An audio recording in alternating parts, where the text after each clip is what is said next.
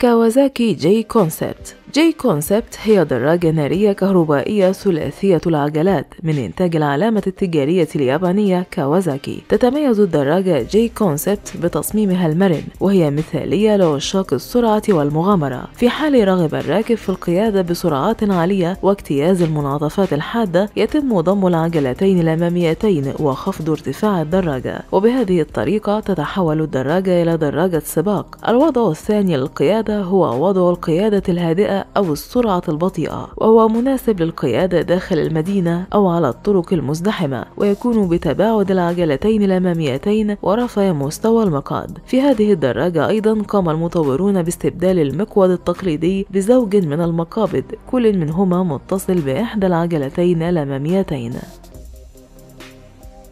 جو هامر جي 1 تم تطوير وعرض تلك الدراجة النارية في عام 2016 وقد كانت هي أول سلسلة من الدراجات النارية الكهربائية في العالم من إنتاج شركة نمساوية. لا تختلف تلك الدراجة عن غيرها فقط بل أنها صممت من الصفر. تم تركيب كل من المحرك الكهربائي والموجه بالقرب من العجلة الخلفية. أما ممتص الصدمات والبطارية فهي موجودة في داخل الهيكل المصنوع من الألومنيوم. حرص المطورون أيضا على ضبط التوازن بين الثبات العالي للمركبة والوظائف. لوحة القيادة ذات تصميم مميز أيضا. يقدم المصنعون اثنين من الموديلات. الأول هو J1 150 ويمكنه قطع مسافة 150 كيلو متر بشحنة واحدة ويعاد الشحن خلال ساعتين وعشرين دقيقة. أما الموديل الثاني فيعرف ب J1 200 ويمكنه قطع مسافة 200 كيلو متر بشحنة واحدة ويعاد الشحن خلال ثلاث ساعات ونصف تبلغ السرعة القصوى لكلا النموذجين 120 كيلو متر في الساعة. أما السعر فهو 25 ألف و 27 ألف دولار على الترتيب. BMW Vision DC Roadster على مدى سنوات اعتبرت المحركات المترددة بمثابة سمة مميزة للعلامة التجارية BMW ومع ظهور المركبات الكهربائية في الأسواق تساءل الكثيرون عما إذا كانت الشركة قادرة على إنتاج دراجات نارية كهربائية بمحرك مسطح. الدراجة النارية التي ترونها على الشاشة الآن هي Vision DC Roadster المبتكرة من BMW والتي أثبتت أنها قادرة على تحدي المستحيل. جدير بالذكر أن الدراجات النارية الكهربائية تختلف من حيث الشكل والحجم عن الموديلات العادية ومع ذلك فقد سعى المهندسون إلى الحفاظ على التصميم المميز لدراجات BMW. حيث تم تثبيت الإطار بدلا من خزان الوقود العادي وتم استبدال المحرك بالبطاريات. أما المحرك الكهربائي فهو موجود أسفل البطاريات للدراجة تصميم مستقبلي وفي الوقت ذاته من الوهلة الأولى يمكنك التخمين بأنها من إنتاج BMW. عرضت الدراجة Vision DC Roadster لأول مرة في يونيو من العام الماضي 2019 ولكن حتى الآن لم تتوفر أي معلومات تفصيلية بخصوص المواصفات أو السعر. Saietta NGS وفقا للمصنعين تمثل الدراجة النارية Saietta NGS جيلا جديدا من الدراجات النارية الرياضية. أسفل ذلك الهيكل الأنيق. هناك محرك كهربائي متطور ونظام تعليق غير اعتيادي بالإضافة إلى عدد كبير من المكونات الكربونية. يعمل المحرك بقوة 200 حصان وبعزم دوران أكثر من 150 نيوتن للمتر. ويمكن للبطاريات المشحونة بالكامل توفير طاقة تكفي لقطع مسافة تصل إلى 190 كيلومتر. العيب الوحيد لدراجة Saietta NGS هو السعر والذي قد يصل إلى 75 ألف دولار.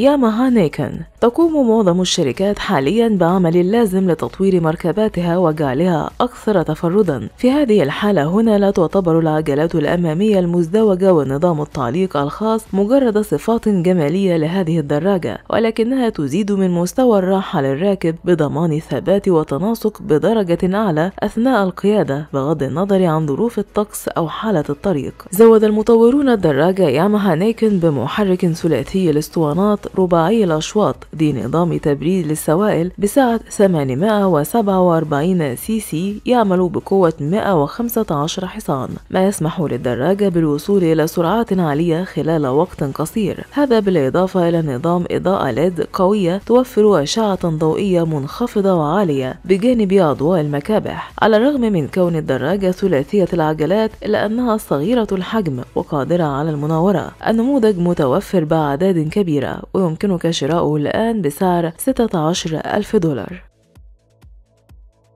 Lito Sora Lito Sora هي دراجة نارية هجينة بين الدراجتين bobber و streetfighter وهي من إنتاج الشركة الكندية Lito والتي تعتبر واحدة من أوائل الشركات في العالم التي أطلقت أعدادا ضخمة من الدراجات النارية الكهربائية في الأسواق. تتميز الدراجة Lito Sora بمظهرها الرياضي القوي هذا بالإضافة إلى العديد من السمات الأخرى المثيرة. على سبيل المثال المقعد القابل للتعديل ما يرفع من مستوى راحة الراكب.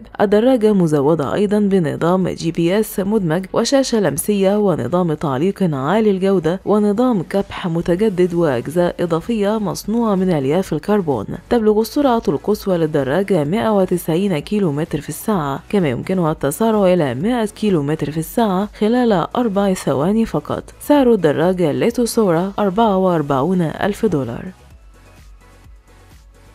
Zecoo عند عرضها لأول مرة منذ عدة سنوات أصبحت الدراجة النارية Zecoo نجمة معرض طوكيو للدراجات النارية وما زالت تبدو مدهشة حتى اليوم. الدراجة من ابتكار المصمم الياباني كوتا نيزو من الشركة اليابانية Znug Design. عرضت للمرة الأولى في عام 2012 في وقت لم تصبح الدراجات النارية الكهربائية شائعة بعد. أثناء العمل على النموذج قرر المصمم التخلي عن الهيكل الأنبوبي التقليدي وبدلا من ذلك زود الهيكل بأذرع متأرجحة من الأمام ومن الخلف. تبلغ السرعة القصوى للدراجة 160 كيلو متر في الساعة وبشحنة واحدة فقط يمكنها قطع مسافة 160 كيلو متر إجمالا لم يتم إنتاج سوى 49 نسخة من الدراجة زيكو على مستوى العالم. ونظرا لكونها يدوية التجميع فإن سعر النموذج الواحد قد يصل إلى 70 ألف دولار.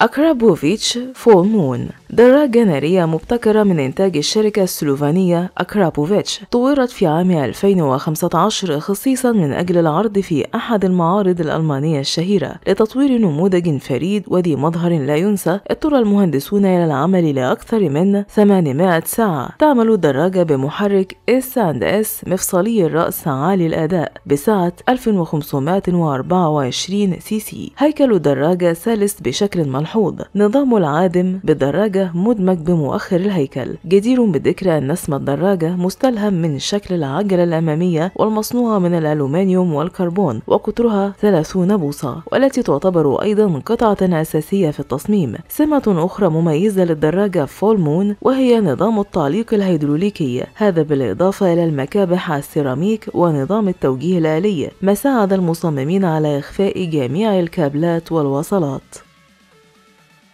شكرا على المشاهدة وأخبرونا في التعليقات أي من الدرجات النارية المدهشة التي استعرضناها على قائمتنا اليوم. قد أعجبتكم أكثر وترغبون في تجربتها في يوم من الأيام. ولا تنسوا إذا أعجبكم الفيديو اضغطوا لايك وشاركوه مع أصدقائكم على مواقع التواصل الاجتماعي. وللمزيد اشتركوا بالقناة. ولا تنسوا أيضا تفعيل خاصية الجرس ليصلكم كل جديد.